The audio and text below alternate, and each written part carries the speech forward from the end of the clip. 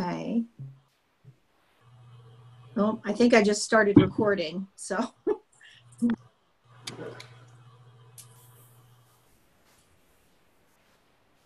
Okay. Let's see. Hi, Dr. Silverman.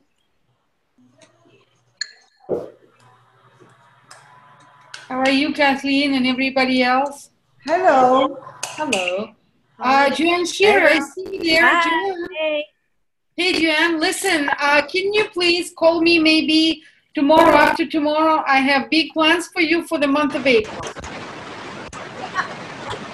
I decided, I decided to go very aggressive on you. Woo, go, girl. You, you obviously know what I want from you, right?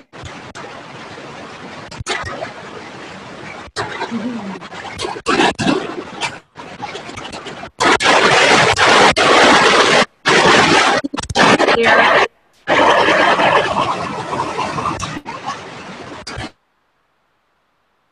Okay, I think I just muted everyone. So can you hear me?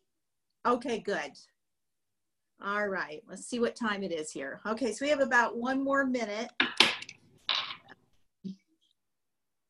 And then Dr. Silverman, I guess you can unmute yourself, can't you? Are you able to do that? Okay, good. All right, well, we'll get started here in just about a minute. I've got 929. Um, so it's, uh, of course, I'm doing the doing the training on the the day that we moved our clocks ahead in some parts of the United States, and it's I'm all screwed up. But uh, but I just had a wonderful um, wonderful uh, visit with my in-laws.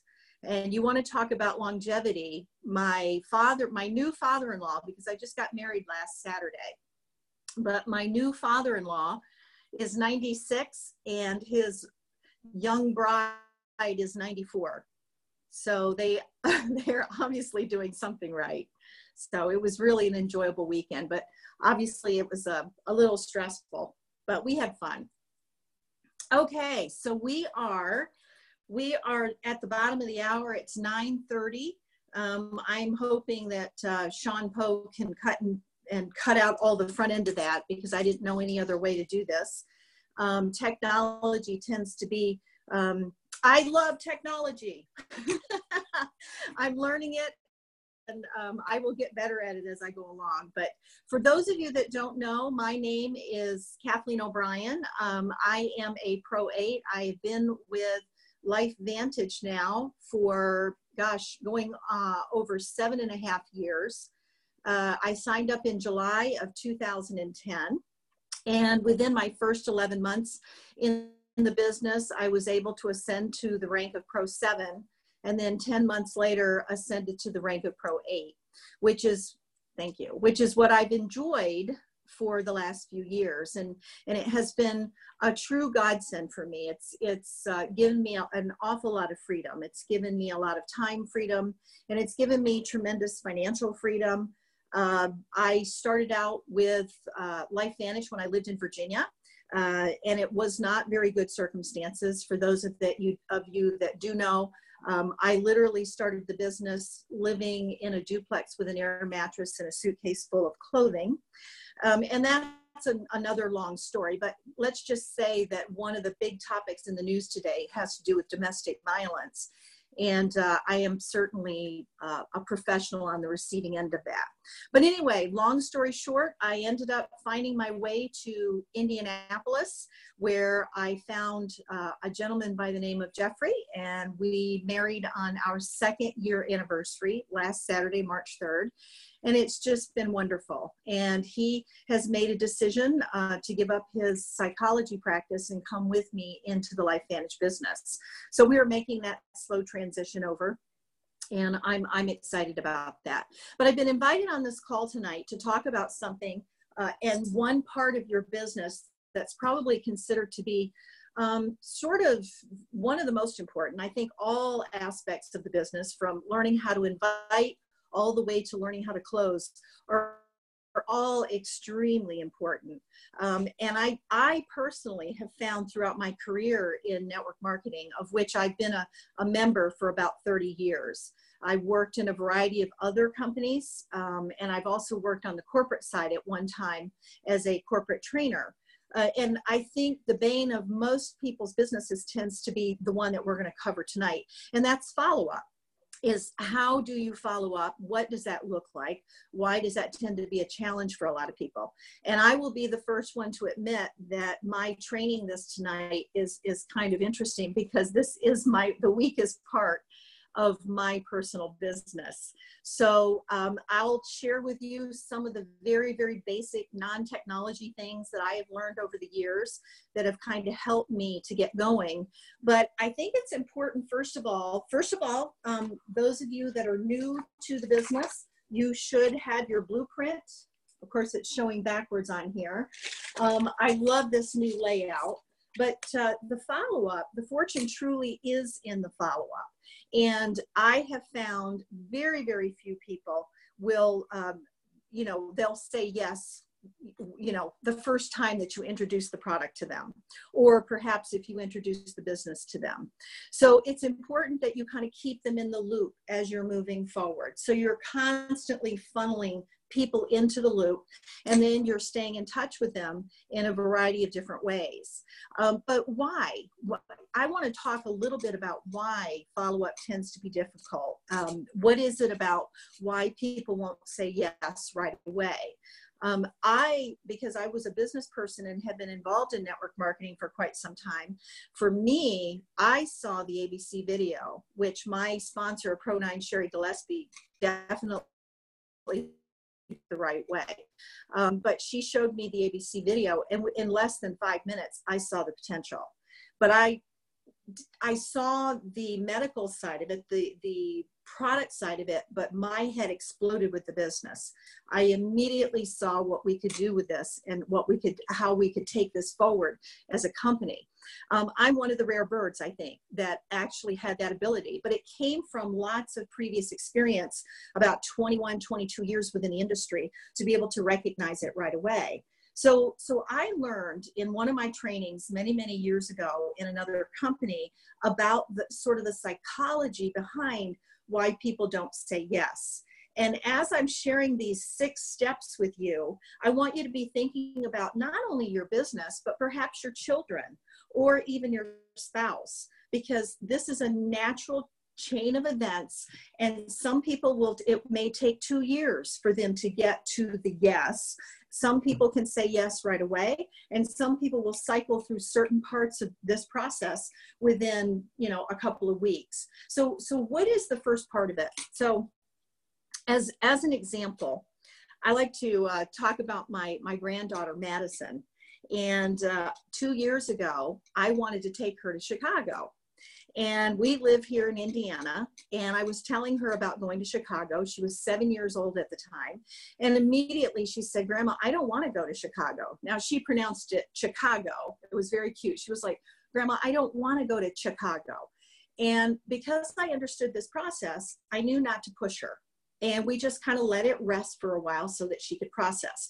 So, what did she do? Step number one is she gave me total rejection. She did not want to know any more about it. She was not interested in, in any way, shape, or form of leaving the comfort of her mom's home and going with grandma to this scary place called Chicago. So she went through total rejection. And I didn't push it. But I waited, and, and after a little period of time, we started talking about why. And eventually it came to partial rejection. And partial rejection is, you know, grandma, you go out and you travel a lot, but I don't, and I'm scared. Now, how does that relate? How do these two relate into your business? Total rejection could be someone who just says, no, I am not interested. Thank you very much. Um, I do not want to participate in this business. I'm not interested in the product. I will tell you that as a uh, professional network marketer in LifeVantage, I've only ever had that happen to me one time where someone just totally shut me down. And it actually was a veterinarian. Um, I went to his office and I showed him the ABC video and I asked him, So, sir, is there anything there that you liked? And he said, No, no. I was shocked because I very rarely hear that when I ask that question. And he he said, no, I'm not interested. And I said, that's fine. That no worries. I'm not here to push water uphill. I'm not here to convince, cajole, or try to talk you into anything. Um, and we ended up talking about other things and I packed up and I left. Um, so that was one time that I, I stopped at total rejection. Um, partial rejection is someone who might say, you know what, I need to study more.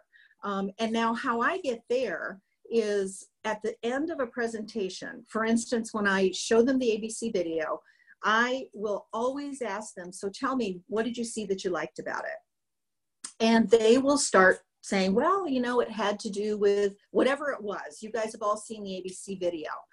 And as we work through that process and I give them the company story, at the very end of it, I always finish up every single presentation with a very simple one to 10.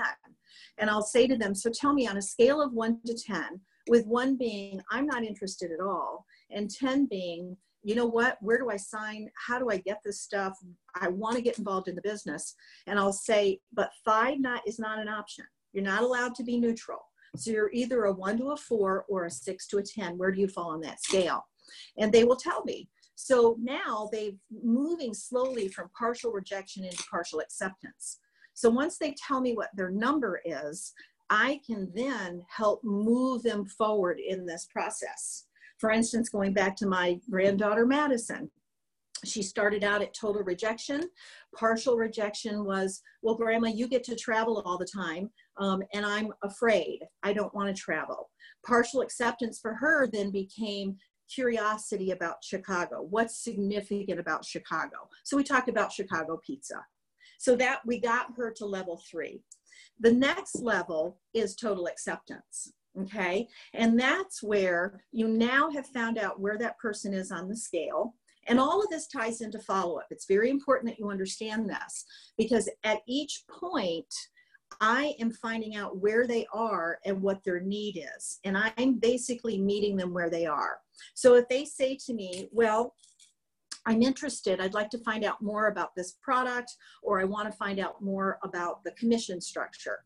I will guide them to the next piece in my package. It could be my professional website.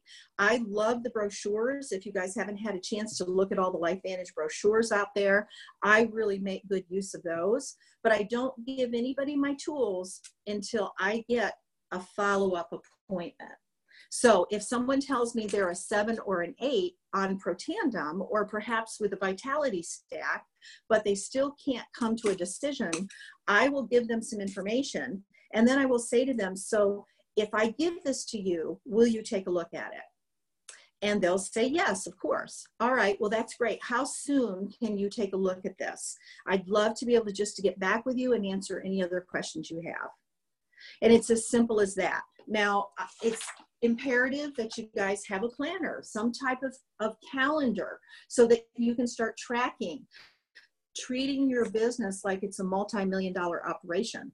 You know, when I was living with that air mattress in a suitcase, within 10 days, I was able to pay the rent, which was $850. I was able to put gas in the car, and I was able to um, turn electricity finally. That, that was how desperate I was at the time. So I did it all though by being coordinated and organized. Now I personally, I wish I could get commissions on this. I've sold probably thousands of these to my team members and other people within the industry, but it's called PlannerPad. It's plannerpad.com. If you go there, it has a funneling system. I'll just go to the month of May, just as an example. But it has a funneling system where you can track all the calls that you have for that next week. So I will have like business calls, I will have product calls, I will have distributor calls, I will have preferred customer calls. Then you you put all those in up here, then you funnel them down into the days. So these are your to-do lists of the people that you're going to call, and then down here is your appointment. Okay, that's where you schedule those calls. See, whatever the system is, you've got to have some type of a system. So you've gotten them to partial acceptance or maybe even total acceptance. And that's the next phase. That's the fourth level where they may say to you, you know what? I'm ready. I'd like to get started on the product. Okay. I have many people who, as preferred customers, might make that decision in the second or third meetup where we've gotten together, they've had a chance to kind of look over the product or perhaps look at the science, and then they will make a decision to become a preferred customer. Um, the simplicity now that LifeVantage offers us is you can just send them your link where they can go ahead and place their order or because I tend to be a hands-on type person, I like to walk them through it personally because that tends to reinforce the relationship. Partial assimilation. All right, so we've gone through total rejection. We've gone through partial rejection. We've gone through partial acceptance. We've gone through total acceptance. And this is where they've made a decision to either become a distributor or they've made a decision to purchase the product. Partial assimilation is perhaps they're willing and able to come to a meeting with you that that is where you can sense that there's a little bit more commitment there or maybe they're ready to get started you know they want to go ahead and get started with the vantage pack and they're actually open to training some of you might be in partial assimilation right now maybe perhaps you've gotten your your pack but you're not quite there yet. You're still in the process of getting ready to get ready. What I want you to do is I want you to move into what we call total assimilation. And total assimilation is where you are pretty much doing what your sponsor is telling you to do right? They're telling you, get out your blueprint. You need to build your database. My gosh, the gold is in your database. You know, a minimum, a minimum of 20 people. Um, when I first got started, um, I didn't have a lot of tools available. I'm just going to show you something. I wish I could put it up here. I don't even know how to do it, but I made one up tonight, a copy, so you could see. This is very simple. All this is, is an Excel spreadsheet with the name and phone number, and then you'll notice 10 little blocks. That's it, just 10 little blocks, because what will start to happen is, let's say you meet with someone here, right? And I had codes like I would have the ABC, I would write in the date and I would write in ABC and I would very quickly just write in what it was that they uh, accepted about it, what they were willing to do, what their number was, if they were a four or an eight. Um, and then I would immediately follow up because you always want to go from meeting to meeting. So for instance, they're an eight on the scale, they want to find out more about the commission structure. I might send them some a link to my website where they can go in and look at the business, but I don't send it until I get a follow-up appointment. So in block number two, I would write the date for the next follow-up. So I always had this as a backup to my planner pad. I would three hole punch this, put it in a binder, and it went with me everywhere. I know it's very rudimentary for you, a lot of you probably young guys out there that are all into the technology, but this is how I built my business, one by one by one. So that was another thing that I did. I have another distributor. I have many distributors who do something as simple as this. This is just a spiral bound notebook. And what they will do is they will write the top, the name of the person that they just met with their phone number, and that person's page is just dedicated to them. And then they will fill up their spiral bound notebook with one name on each page. So now they have a follow up system where they can take notes like, how many children does that person have? How old are the kids? What is their interest? When's their birthday, maybe? Whatever you feel is important to that particular person. And you tie this in to your planner pad. So you've got those two systems going all the time. So total rejection, no, I'm not interested. Partial rejection, uh, I don't know. I might take, I might need to study it more. Let me take a look at your website partial acceptance. You know, I've got a couple of questions and I'll get on that Thursday night business call. You were mentioning that. I think I'd be interested in getting on that. Total acceptance. Okay, I'll give the product a try or I'll get started on a platinum pack or, you know, whatever pack. Partial assimilation. It, that's when they start to uh, they're coachable they're open to getting ready to you know to to to build their business total assimilation is pretty much what you guys are doing tonight you guys have taken the time on a Sunday night to get on this call, and they're going to be very interested in building their businesses. So all of this ties into the follow-up process. Following up, honestly, if you can just maintain consistency, my personal challenge is I tend to be, I used to call myself the Tasmanian devil because for me, going out and building my business was not a process of building business. For me, the process was making friends. It was building community. It's it's getting to know someone at the local restaurant and going there consistently over time, and always asking asking to be seated at that person's um, her station. Um, I'm working with someone like that right now. Um, buying shoes. I'll, I had a wonderful experience here in Indianapolis. I don't know how many of you were actually in Indianapolis, but um, uh, this place was blanketed with business cards. You guys absolutely overran this community with business cards. But how many of you have followed up? Okay. So I went to buy a pair of shoes and started chatting with the gentleman who I'd already had a relationship with. And before you know it, he pulled out a stack of business cards that thick from all of you. But he chose to go to lunch with me because I'd followed up with him. And he ended up becoming a distributor. So when you're out there, you can be the Tasmanian devil, but make sure that when you give them your information, that you are sure to follow up. Um, one other thing that I, I have going for me is Jeffrey's really wonderful. If we're out and about and I'm chatting with someone um, and they agree to meet with me, or perhaps they want to take a look at something, he will immediately stand behind me and text an email to me, or I'm sorry, he will email me their name. He puts it in the subject line. So if you have someone that's working with you, have them help you. So when I got home, I could go down through my email list and I could see the names of all the people we had met that day. And it's not unusual for me to meet five or six new people. So it's just a you guys are constantly surrounded by people. We are we live in a land of abundance. The whole point though now is just learning to follow up. I hope this has been of some assistance to you. Um, the whole process, the mental process of why people uh, total re, totally reject and move into total assimilation it's so important. By the way my granddaughter did come with me to chicago.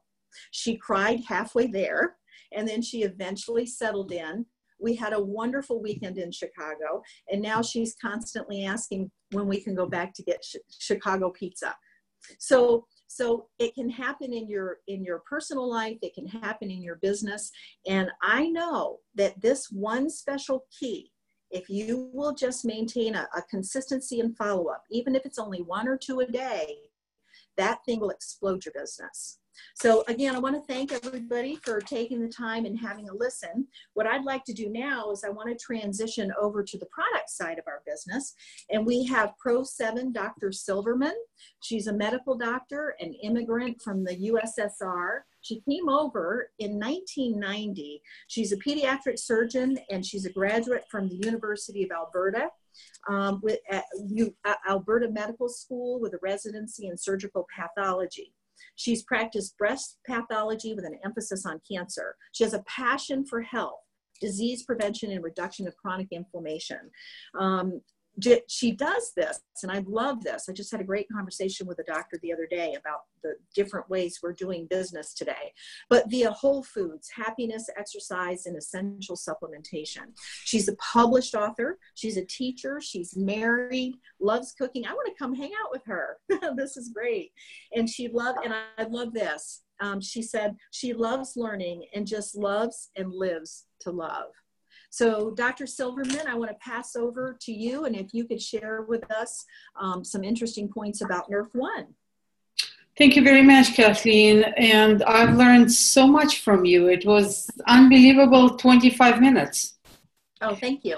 But the most important thing is you're building this business from a side of friendship. Hmm. You develop friends on the way of building distributorship. It's amazing. I think that's one of my credos. So, uh, guys, thank you very much for having me on the call. You know, it's exciting for a physician to have the products with the health concept or medical concept that basically the future of medicine, and that's how it is.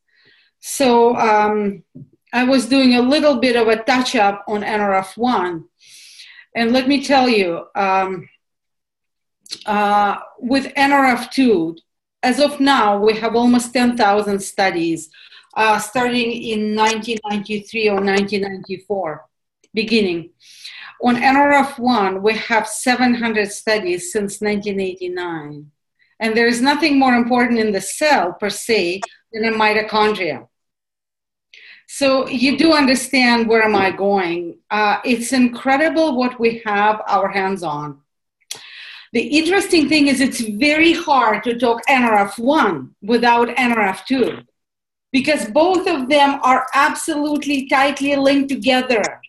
That is why you cannot take NRF1 Protandim and not to take NRF2 Protandim. And you basically cannot take NRF2 Protandim and not add an NRF1 Protandim. Now, what is NRF1? And what is NRF1 Protandim? So, NRF1 is that protein complex that turns on mitochondrial genes. Now, there is a major theory of aging which is linked to the decrease of the mitochondrial number and the decrease of mitochondrial function. And that's what we build in. So that's sort of normality to decrease the number of mitochondria with longevity. We can absolutely change the level of mitochondrial dysfunction becoming healthy. That is absolutely on board. Now, why is it important to uh, um, upregulate NRF1? And let me tell you from the studies that was done by Dr. Chavarot, our NRF1 Protandim uh, upregulates this NRF1 protein by 60%. Now, NRF1 Protandim turns on mitochondrial genes. Mitochondrial genes turns on the signal to make mitochondria new and more functional mitochondria. So, what does that mean? Mitochondria is your energy factory. This is your powerhouse. If you catch yourself that you're sluggish, you don't have enough, you know, um, you don't have enough stamina through the day. Uh, during lunchtime or after lunch, you need a nap. So your mitochondria is not giving you enough energy. So you need to boost your mitochondria. So how do you boost your mitochondria? A, you clean the old ones. How do you clean the old ones? How do you boost the old ones? By taking NRF2 Protandim. But then you need to make the new ones. How do you make the new ones? By taking NRF1 Protandim. So that is why, you know, to me, it is so important to take both. Uh, now, let me tell you about the similarities between NRF1 Protandim and NRF2 Protandim. It's the synergy of ingredients. NRF2 Protandim is built on synergy, on synergy of five. And NRF1 Protandim is also built on synergy of five. Different ingredients, natural ingredients, but again, the similar concept, the synergy with low concentration. Um, oh, my telephone is buzzing and it breaks, uh, breaks the train of thought. Um, now, the importance of boosting, uh, the importance of making the new mitochondria. Well, I told you, major chronic diseases like neurodegenerative disorders, like Parkinson's disease, like multiple sclerosis, like Alzheimer's disease, like autism, autism is directly linked to mitochondrial dysfunction. Well, I just read a paper which said that making new mitochondria, actually those young and healthy mitochondria, can go in the cells with all dysfunctional mitochondria and fix it. So, how important it is. And the last point I'm going to make is we are the only one company that has branded nutraceutical NRF1 activator. Mm. It's incredible. So my five minutes are up. Oh, Dr. Silverman, that that was wonderful. I I've got all kinds of little chicken scratch here. I, this is amazing. Um, the the point that you made about upregulating NRF1 by 60%, I thought I think is just absolutely remarkable. I love uh, your the way you brought the science down to the basics, where you're cleaning the old mitochondria with NRF2 and you're making new ones with NRF1. That is probably one of the most important statements I've learned since coming back from Indianapolis. So I really want to thank you for that. Thank you for Um, having me on the call. Oh, goodness gracious. Yes, thank you. Thank you for taking the time. And uh, everyone, thank you. We want to be respectful of your time. I know we're moving into a new week. Uh, we want to challenge you uh, to make sure that you do make follow-up a very, very important component to your business. Don't be afraid of it. And, and don't take rejection personally. It has nothing to do with rejection and everything to do with the psychology of how someone moves through the process. It's very, very simple. Um, and of course, we're always talking about going from meeting to meeting. Uh, if you haven't yet, please make sure that you get yourself put together and signed up for Anaheim in July. Uh, very, very exciting times there. All you have to do is go to lifevantage.com and click on events and go take a look. So get your get your uh, get yourself scheduled to attend and get your hotel room set up.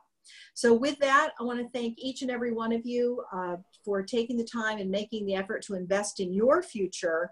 And we'll be talking to you again. All right, guys, take care. Thank you so much. Take care. Maria Williams, love you. Yes, thank you, Maria. Bye bye.